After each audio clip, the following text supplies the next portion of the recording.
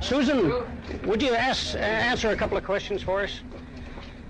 What, What- did you think of this morning's proceedings, Susan?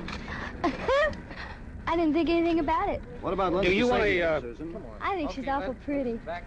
Do you want a press conference, too, Tony? I don't fear for anybody's testimony. Think Charles should have a news conference?